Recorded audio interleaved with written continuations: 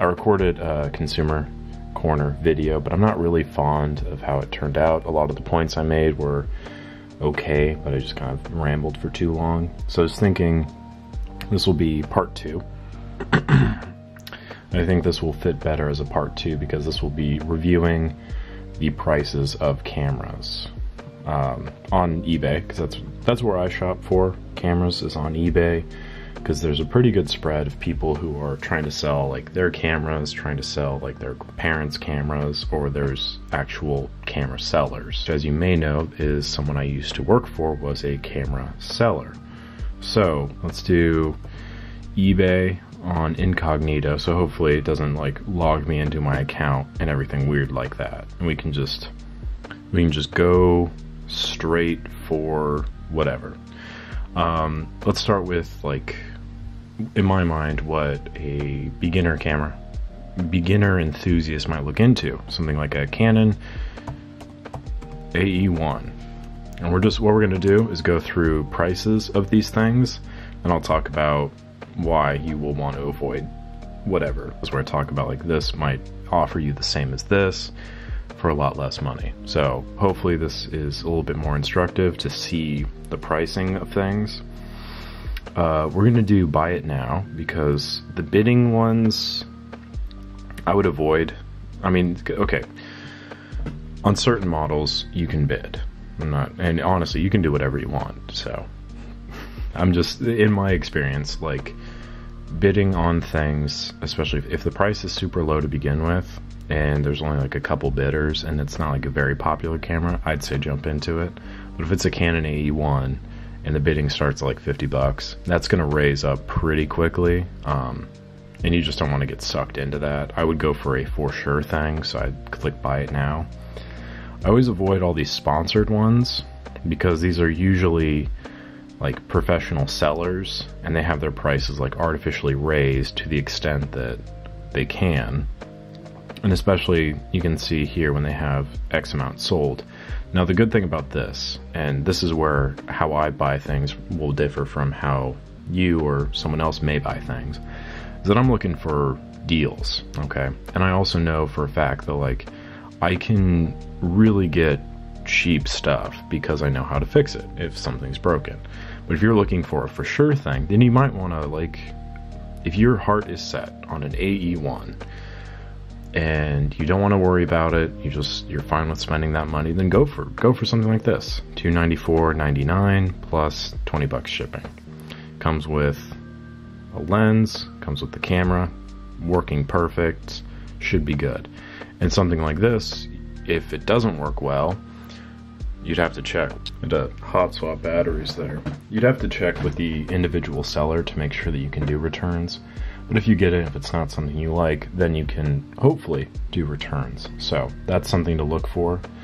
However, for the case of trying to spend the least amount of money, for trying to like not spend 300 bucks on a camera, which I would not recommend spending $300 on an AE1. I don't think it's worth it.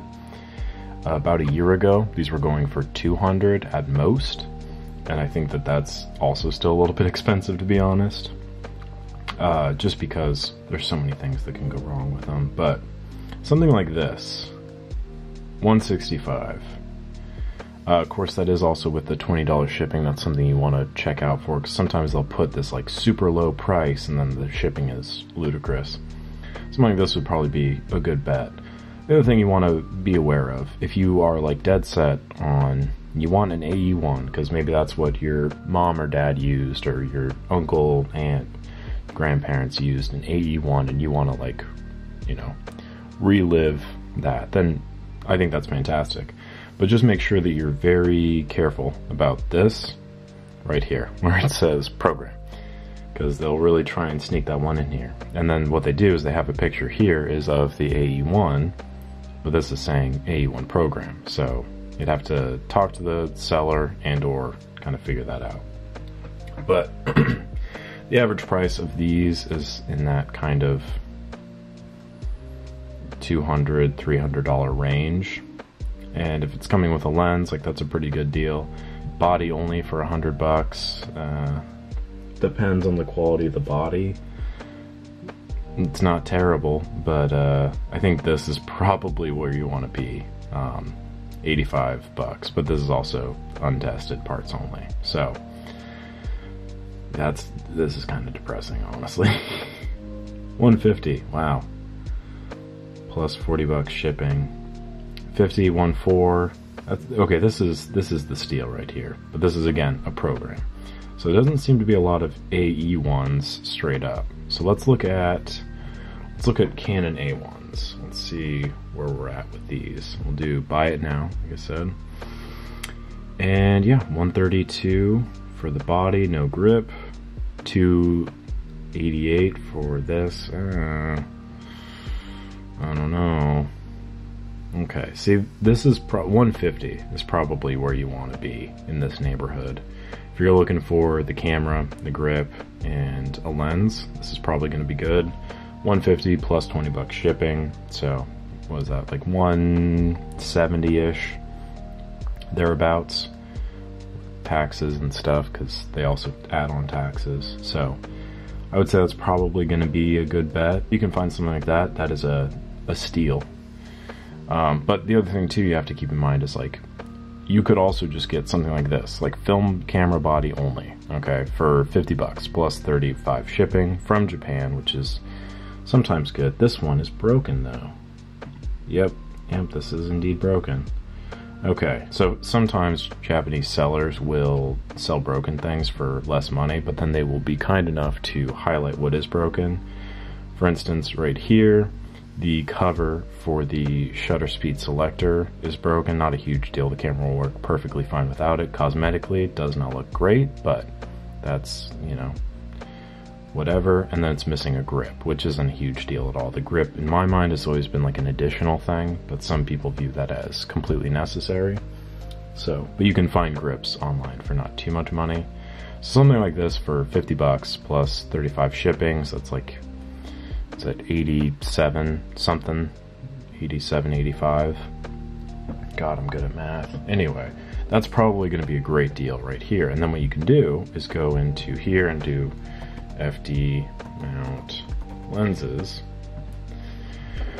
And then you can find whatever focal lengths that you really want. Now i would do again buy it now. Uh, condition will do no let's see.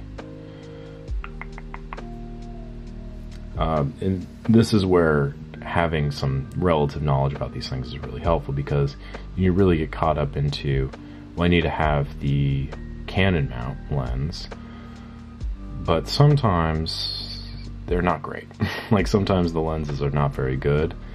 Uh, but because it says Canon, they go for more than the third-party lenses. Like for instance, this is a $40 lens because it's a Canon 51.4, as is or for parts only. It's actually not too bad of a deal. Depending on what's wrong with the camera or the with the lens, it might not be fixable. Versus something like this where it's a 28 2.8, but because it's a Lentar Super, which I've literally never heard of, works perfectly fine, I'd imagine. 34.75. So, or something again like this. 25 bucks plus 20-ish shipping. So, Anyway, there's like, there are deals out there, you just kind of have to know what you're looking for, and if you're fine with a third-party lens, which I, I think you should be, because they're not terrible, to be honest, they're really not terrible. Yeah, you just spend a little bit of time looking. The other thing you need to be worried about when you're looking for lenses is sometimes you'll get like a lot of lenses like this, and so you click on it, you're like, oh, $10, that'd be sick. So click on it, and I guarantee, guarantee this is what's going to happen. So all of these lenses, yep, from $10 to 80 So select which one you want and you go through like, oh, I want, I want this 51.8. Okay, so that's 40 bucks. That's actually not too bad. That's very reasonable. Hmm. But the two-time teleconverters, these are the ones that are always $10. And some people will like lump this in with other lenses and they'll say like, "Oh, it's a it's a lens, but it's just a teleconverter," which is fine. Like if you want to use a teleconverter, that's great. But you can't use that without a lens. So you're just buying another thing. But then this, yeah. So this is $79. It's 80 bucks for this. Good lens for sure, don't get me wrong, but it's just a little bit uh misleading when you see $10. Like, oh, sick, I can get a 50 millimeter 1.8 for 10 bucks, and you, you can't. So, um, anyway, that's something to be interested in. Like, maybe just find a body like this for a relatively reasonable price, and then go find a third party lens or find a separate lens. Or, again, just get a kit. For 250 bucks, you can get the camera and the lens in mint condition. And again, some of these sellers are really reputable and you can trust them. Others are, ooh, wait a minute. Oh no, this is garbage. Never mind. Oh, but I kind of need one of these. Anyway, sorry, this is, I need to stop looking at eBay every time. Okay, so that's kind of it. Um, I don't know. I think these are, in my mind, this is a better deal than an AE1 or an AE1 program. So if you're going to spend like, if you're going to spend $300 on a camera, do this. Don't don't get an AE one. If unless like again, unless you really really want to, then do it. But I would probably just spend either the same amount or a little bit less. Get an A1 with a lens. I think it's much better. So let's go to uh, one of my least favorite cameras ever, Minolta X700. Now I'm in the minority when it comes to this because like people love these cameras and okay people love these cameras. That's fine. You feel however you want to about them. Really, genuinely. Don't let me influence your feelings or opinions towards things. I'm just going to tell you the facts. I don't like them.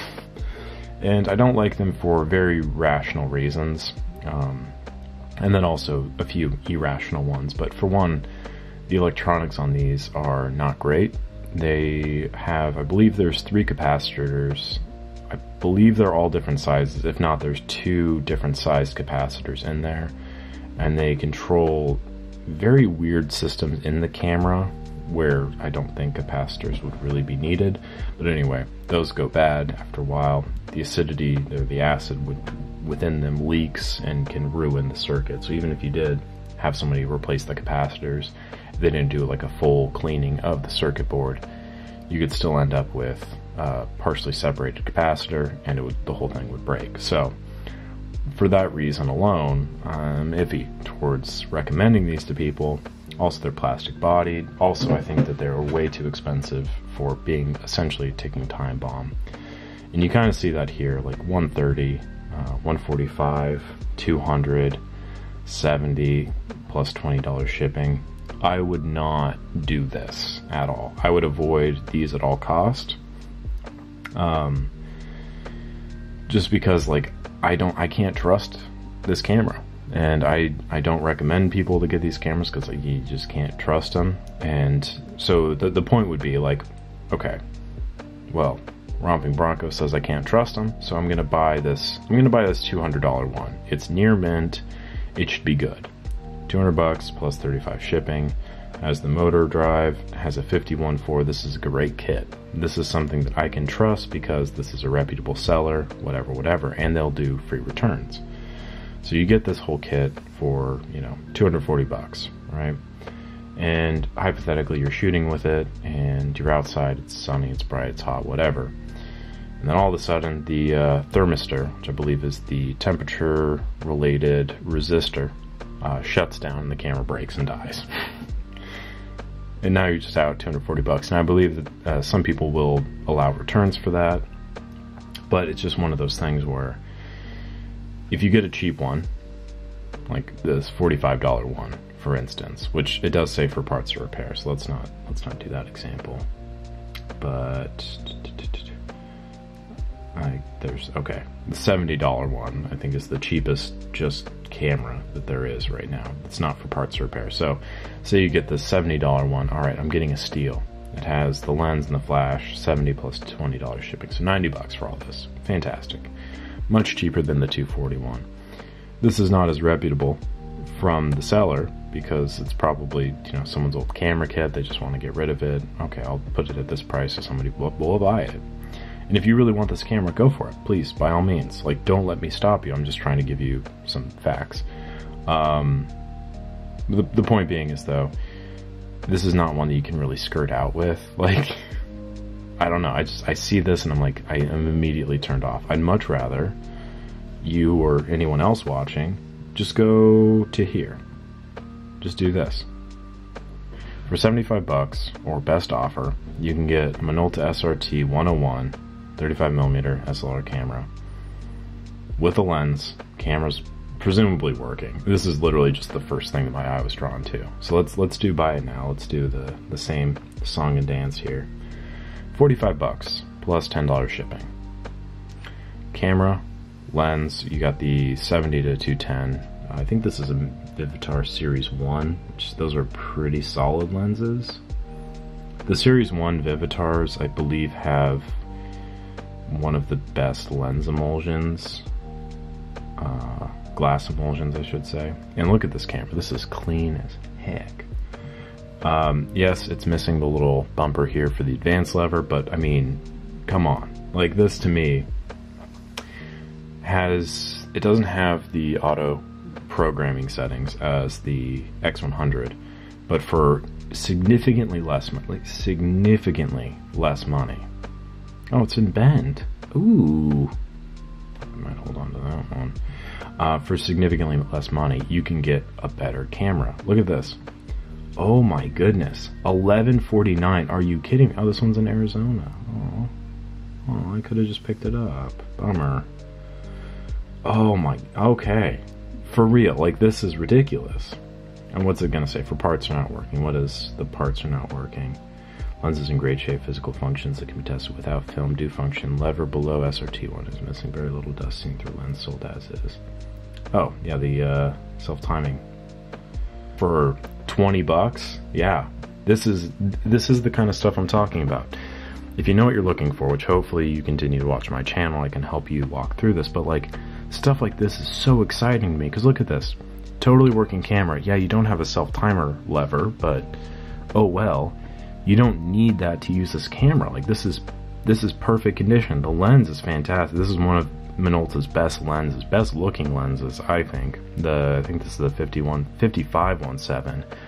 I mean, it it does not get any better than this. Stuff like this is out there though. That's all I'm saying. Stuff like this is out there and I'm hoping that a video like this will help illustrate just how good the deals are. Minolta I think is probably one of the less refuges for uh for getting a decent beginner camera because these SRTs are pretty much built like tanks. The lenses, the glass, uh, the MD glass has always been fairly inexpensive, which is fantastic.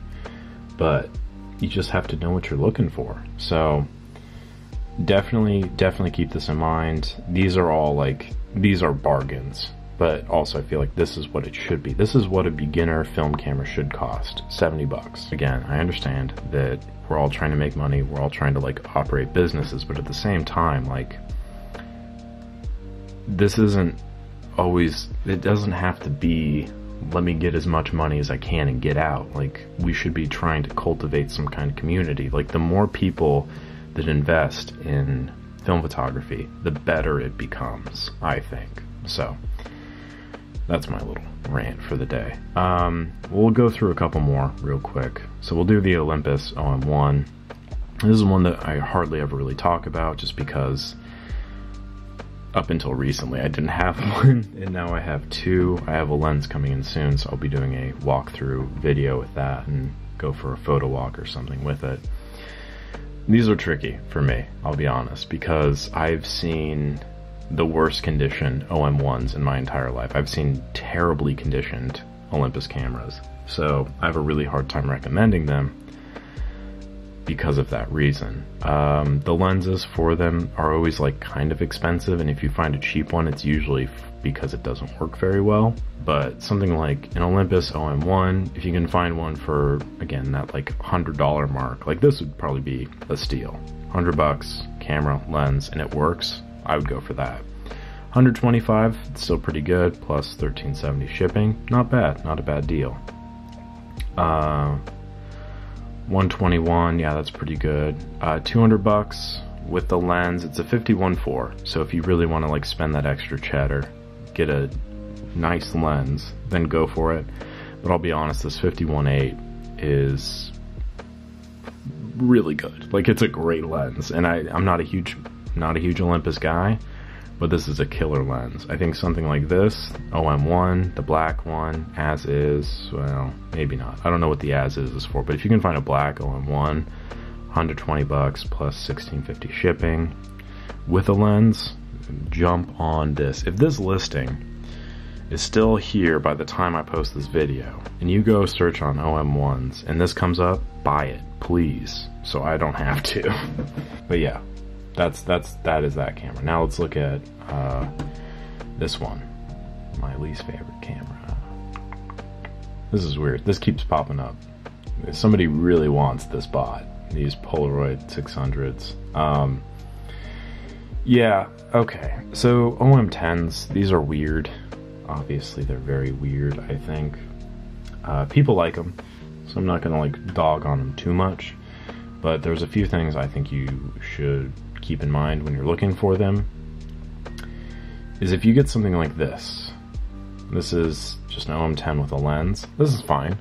However, you have no manual control, and I'll show you why, because, yeah, this one does not come with it. So, right here, I'm hovering, can I zoom? Okay, yeah, right here, a little connector slides right into there and I will now show you what that looks like because this other one has it. This. This is the shutter speed, the manual shutter speed attachment. Yes, there is an attachment, the manual adapter attachment. It is, in my mind, one of the biggest blunders I think ever. I understand, like, this is meant to kind of be a beginner, like, consumer camera, but oh, it's terrible. And then also this system here, uh, I despise because there's like little plastic notches that this is supposed to sit in, so it'll click into place, but it's very often that that kind of erodes. So this thing will just kind of like flop around. It's very annoying. And then the battery check uh, sound is very obnoxious too, so if you're like, oh. so if you're on, um, if you have it on on or whatever and you accidentally like move it and it like swings around to the check, it's like ee terrible. Absolutely terrible. So I avoid that at all costs. But anyway, so something like this, 80 bucks, it's not too bad, I guess. But again, I just think your money could be better spent. I think something like an OM1 or an OM2 are just as feasible as this. And yeah, you don't have the auto functions, but the electronics on these are also known to be quite faulty, um, and the fixes for it that I've read about have just not been, uh, they don't fill me with confidence, we'll say. Um, so anyway, that's that's the Olympus line of cameras. These are not terrible prices, I'll say, like 80 bucks, 20 bucks, but this one will not work. But uh, 100 bucks with camera and lens, I'd say it's probably kind of fair, but at that point, I would recommend going with an OM1 instead. So let's do let's do K1000s because those always kind of make me sad. I'm glutton for punishment here. Also, my typing speed is just an atrocity. It is so slow. Race a turtle and lose. Okay, so the very first ones, again, we're looking at the sponsored 691 sold. Again, if this is something that you just want to get because, you know, so-and-so had a K1000, then yeah, go for this. Like, you know, 250 plus 20 bucks shipping, so 270 camera, lens, potentially a strap. Um, I mean, yeah, I guess that's fine, but I don't know. It's a lot if you're asking me, but whatever. Um, but yeah, if that's what something you want to do, don't let this dissuade you. But again, let me just say that that is way too much for this camera. Oh yeah, this is. oh, are you kidding me? Oh my god. How hilarious is that? Oh my goodness. Okay. Okay. Peel back the curtain a little bit. Allegedly, this is a this is somebody that I know. Allegedly, Six sold in the last 24 hours. That's great. Eight available, 937 sold. This is a business. Okay, this is straight up just a business. the The price here does not reflect the actual value of the camera. Okay, it does not at all. It is priced that way because whoever runs this business knows that that's how much they can sell it for. Okay, there you know that that is how the sausage is made here, and the very fact that there is a KM, a picture of a KM on their K1000 listing. Oh my lord, what a beautiful day. This doesn't make me sad. It does make me sad because this is a ludicrous cost for the camera itself. Other things you want to look for, especially if you're looking for K1000s, um, this hole right here. This is a screw mount. Basically what this is, is this is the plastic top. And so you can see there's this little dent right there.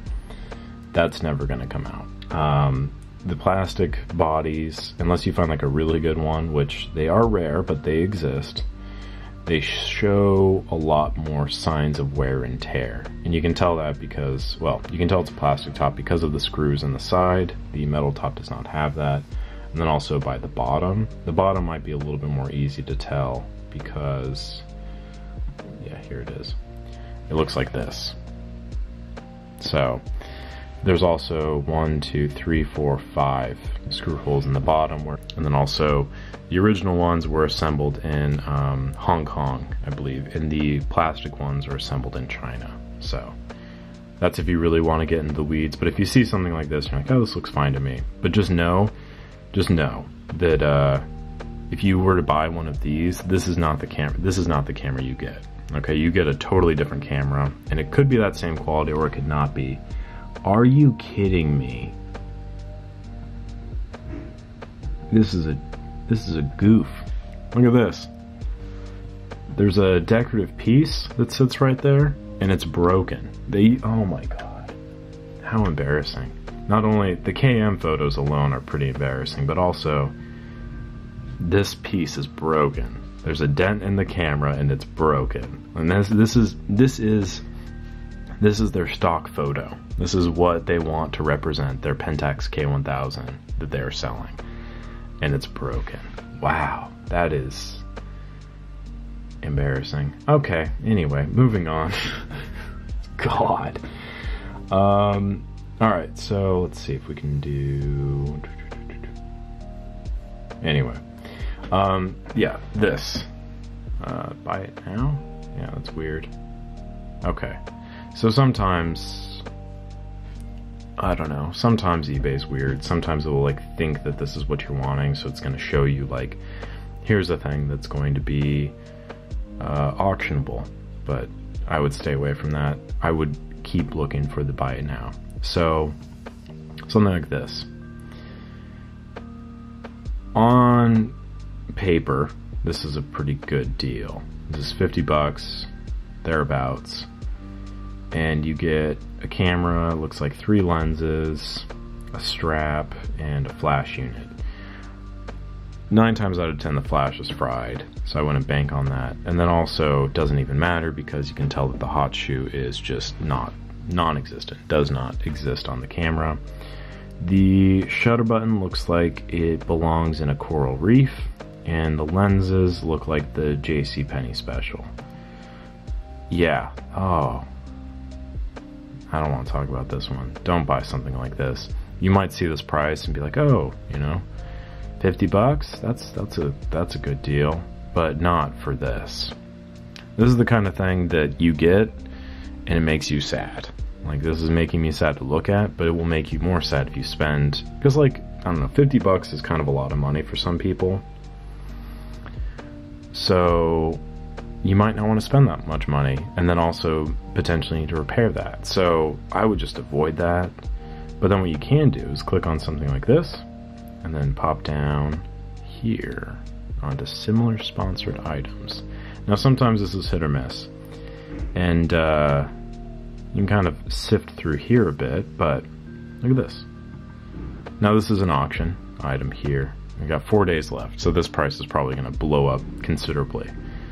But 62 bucks for the camera and the lens. This is perfect. This is this should be what they just cost. Oh, the other thing about the metal tops is that they have this uh, decorative piece right here, whereas the plastic tops just sit in a well, basically. So the uh, know the rewind crank basically just sits in a well of the camera that's a similar color as this. So, real nerdy shit, but I preferred this look personally. Um, I'm not taking any shots at you, Jeff. I know you like your plastic one, but whatever. Um, anyway, so that's that's pretty much it for the K1000. Like these are just ludicrous prices. Okay, I, I gotta wrap this up because this is getting way too long. So we're to talk about the KM real quick. Camera lens. It's coming from Smyrna, Tennessee. Clean, okay? Buy one of these. Seriously. Do it for yourself. Buy one of these so you don't spend $250 on a K1000 that they don't even have the decency to put the same pictures of. That's just absurd to me. Anyway, it's just absurd.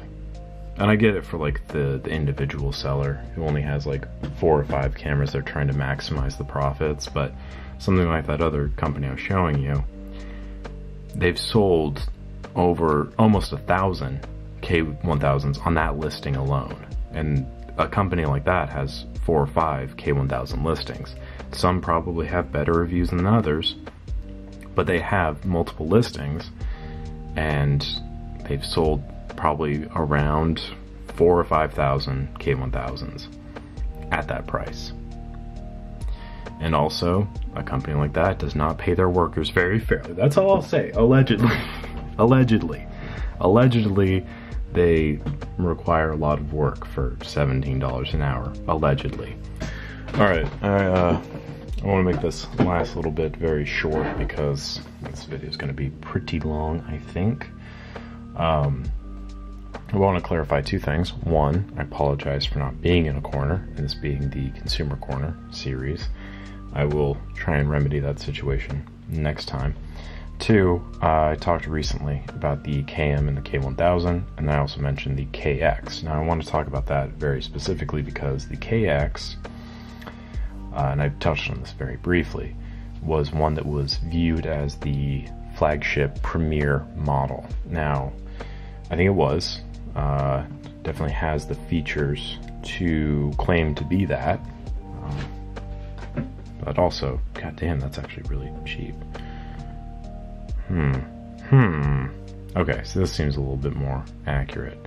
And this is with a third party lens too. But anyway, the thing about these, and the thing about Nikons in particular, and why I don't really mention Nikons as far as good beginner cameras, is because these were more marketed towards professionals. Okay, so people are people who bought these uh, probably want to also sell them for higher price value because well I bought it for a lot so it's still worth a lot. Again, if you're looking for a KX then you know 150 is probably going to be where you're at with that. That's actually not too bad to be honest. For having more features than a K1000 which goes for 300 this with a 5518. Ooh. For 163. This is a good deal. Yeah, not bad. Light meter not working properly. Viewfinder has some dust in the prism. Scratches, scuff, stains. I mean, if you can get over those like minor cosmetic issues, that's not a, not a bad deal actually. For the lens alone, that's that's pretty cool. That's something to be to be wary of, I would say. It's just something like this, Nikon's those are probably going to be priced out a lot heavier, even though, mm, you know, say what you will. But, uh, I don't know, 330, that is way too much. It's hard to go wrong with this, okay? Like, this is, that is clean. That's real clean. Ooh. And with the case. Dang, son. Okay, and it's from Vegas. That's another thing too, sometimes. Not all the times, but sometimes I like to look at where they're from. So this one's from Las Vegas, Nevada, which, you know, say what you will, but uh, that's not Florida. Now, nothing against Florida or any of like the southern states or even Oregon or Washington.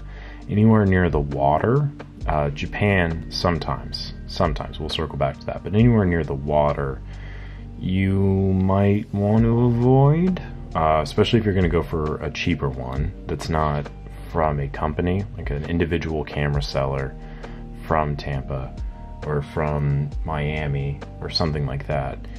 It is likely, especially if it's like an older camera like a Spotmatic, that there's going to be a good amount of mold somewhere in the camera, like some kind of life forms, because uh, that's just that's how that happens. So I would be wary about that. Whereas something like Vegas, you don't have to worry about because it's the middle of the desert. It might be a little bit dusty, but there's not going to be moisture in Vegas, uh, except like I don't know. And then some Japanese sellers, not all of them, but some of them will say that it's mint condition, but it's it's really not. Like I've seen that before, where it's just they've got salt water lining the inside. Like they'll they'll clean the outside of the camera, but sometimes the inside is just fried completely. And most people are none the wiser. I just take apart my stuff when I get it so I can make sure it looks good. Um, so I've caught that a couple of times, but they're usually pretty good about repairs if you end up in that situation. If you want to see something that's really depressing, um, Contax T2. Okay, we'll do this. Okay, thirteen hundred dollars, right? Let's let's check this. Four parts are not working. $700 for a paperweight. 575 for a paperweight. Contax T2. This is a different one, yeah? No, okay. 110 for a paperweight. So eBay's good, I think. eBay's a good place to go because you do get the range of sellers. You get people, you get large companies that you can trust to some variable of a degree. Um, that they will honor their warranty because their business is operated through this. And so if you give them like a bad review, you can open up a claim or whatever. They don't want that, so they will help you out in any way that they can. All of this comes from my experience and from dealing with these people regularly. So I'm hoping that watered down version of my experiences with buying and selling stuff on eBay that I can help you guide you through this beginner process because it's it's challenging. Like when you're looking at like let's see, just go back to the Canon AE1 slowest typing speed in the game. When you're looking at this, this is overwhelming. Like this is like, oh my god, this is a lot.